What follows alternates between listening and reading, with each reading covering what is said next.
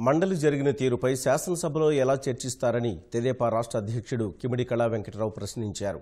మంత్రులు వైకాపా సభ్యుల ప్రవర్తన చూసి రాష్ట్ర ప్రజలంతా సిగ్గుపడుతున్నారన్నారు.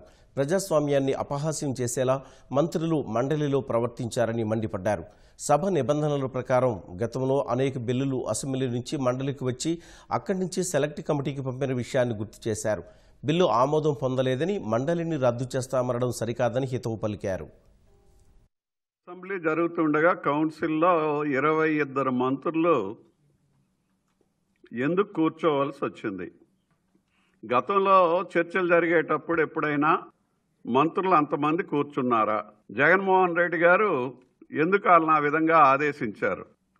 వాళ్ళ ప్రవర్తన ఏ విధంగా ఉంది అనేటటువంటిది ప్రజలు గమనిస్తారని గమనిస్తున్నారు అనేటటువంటిది కూడా వీళ్ళు ఆలోచించుకోవాల్సినటువంటి అవసరం ఉంది. నిన్న కౌన్సిల్లో జరిగేటటువంటి విషయాల మీద కౌన్సిల్లో చర్చ మీద కౌన్సిల్ చైర్మన్ పైన కౌన్సిల్ సభ్యుల పైన అసెంబ్లీలో చర్చిస్తున్నారు. ఏ విధంగా చర్చిస్తారు? ఏ రూల్ ప్రకారం చర్చిస్తారు? ఏ రాజ్యాంగ అంశం ప్రకారం మీరు చర్చిస్తారు? ఏమైనా ఆలోచన మీకు ఉందా